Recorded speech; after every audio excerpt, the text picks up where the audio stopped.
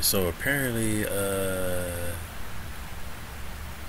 I did her twice on human and I still got an A, but somehow I cannot get an S with this uh, person, but I'm gonna keep trying until I get it. Let's get started on this mission.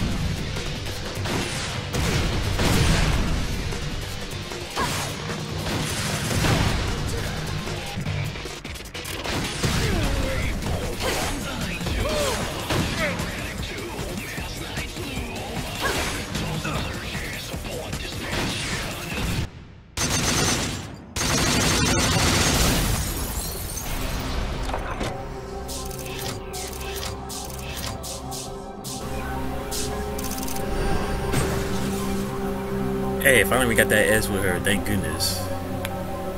And it didn't take long.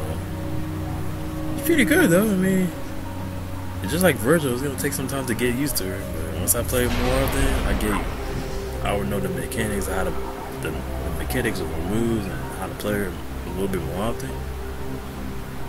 But I will see you at the next mission.